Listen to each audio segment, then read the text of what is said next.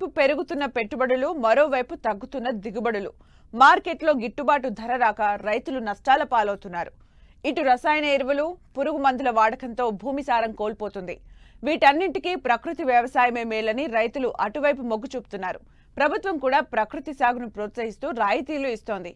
ఇందులో భాగంగానే ముప్పై రకాల నవధాన్యాల కిట్ను రైతులకు అందిస్తోంది.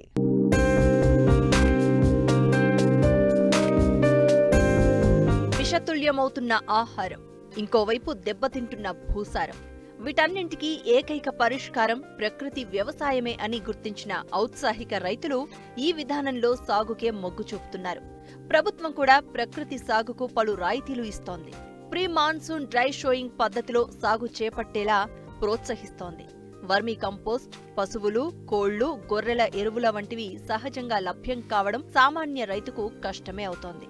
వాటికి బదులు నవధాన్యాల సాగుతో సహజ సిద్ధ ఎరువులు తయారు చేయడం ప్రతి రైతుకు వరంగా మారుతోంది.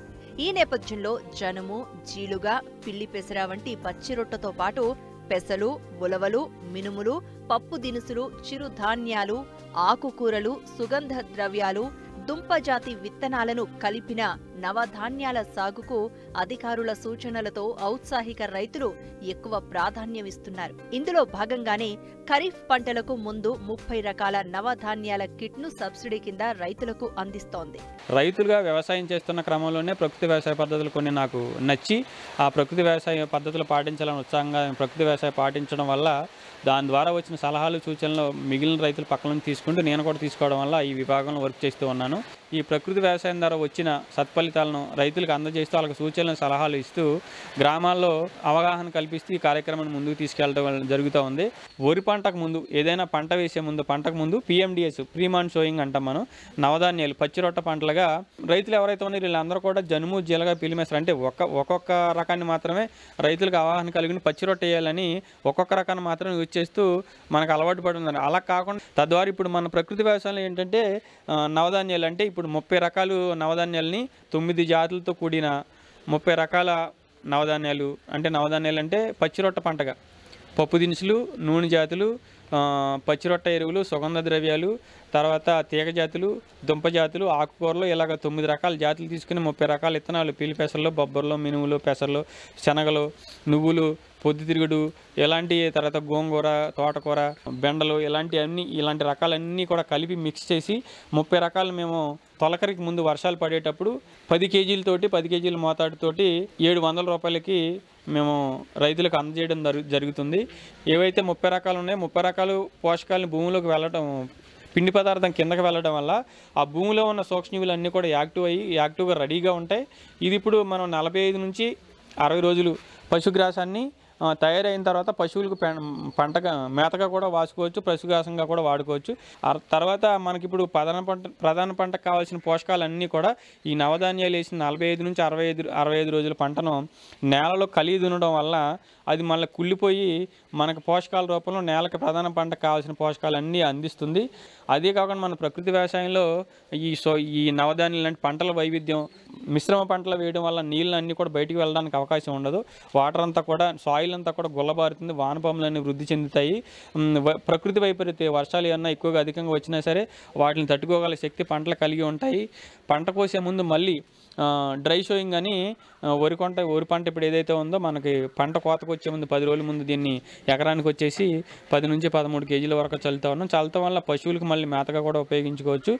ఇప్పుడు మూడు వందల అరవై ఐదు రోజులు. ఇప్పుడు ఈ విధానంలో మనం నూట ఇరవై రోజులు మాత్రమే పంట సాగు చేసి భూమిని అలా ఖాళీగా వదిలేస్తున్నాం. వదిలేయడం వల్ల కింద ఉన్న సూక్ష్మజీవులు యాక్టివ్ అయిన సూక్ష్మజీవులు అన్నీ కూడా నిద్రావస్థలకు వెళ్ళిపోతాయి. నిద్రావస్థలకు వెళ్ళిన వెళ్ళడం వల్ల మళ్ళీ అవి యాక్టివ్ అవడానికి చాలా మనం శ్రమించాల్సి ఉంటుంది. అలా కాకుండా మూడు వందల అరవై ఐదు రోజులు కూడా నేలను కప్పి ఉంచడం వల్ల ఈ కింద ఉన్న కోటాను కోట్ల సూక్ష్మజీవులు సజీవంగా ఉంటే ఎప్పుడు కూడా యాక్టివ్గా పనిచేస్తూ మనకు కావాల్సిన మొక్క కావాల్సిన పోషకాలన్నీ కూడా సమృద్ధిగా అందిస్తూ ఉంటాయి. కాబట్టి మేము ఈ ఉన్న గ్రామాలన్నింటిలో కూడా రైతులకు అవగాహన కల్పిస్తూ ఉన్నాము. ఈ ప్రకృతి వ్యవసాయం నవధాన్యాలు అనేది ముఖ్య ప్రధానమైన పంట.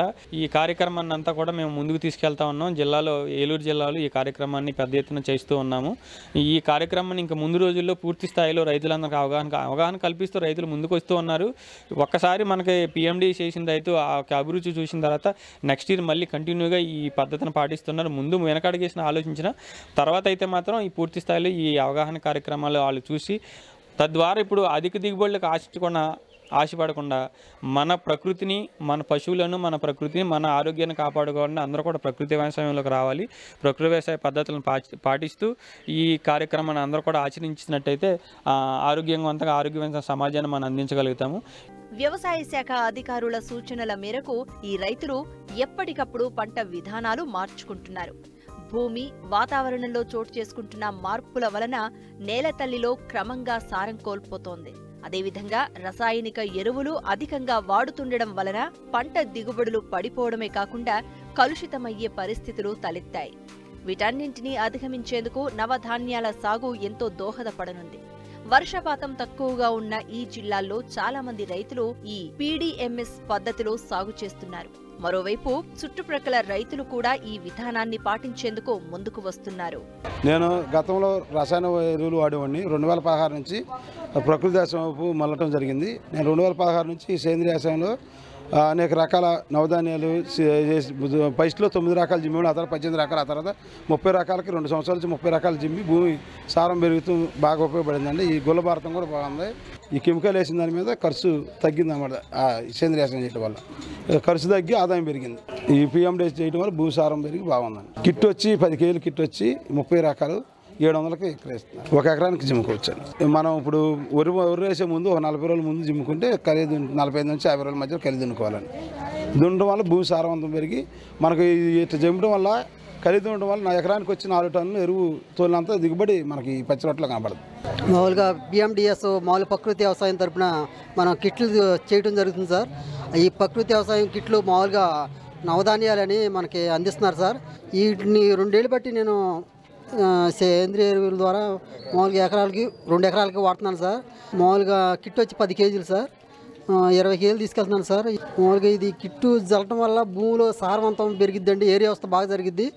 మామూలుగా ఇంకా భూమి కూడా గుల్లవారి చక్కగా వచ్చి మన పైరుకు వస్తుంది సార్.